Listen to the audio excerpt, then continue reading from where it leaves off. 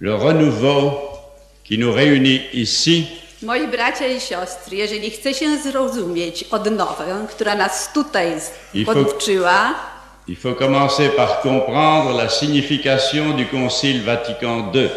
trzeba zrozumieć znaczenie Soboru Watykańskiego II.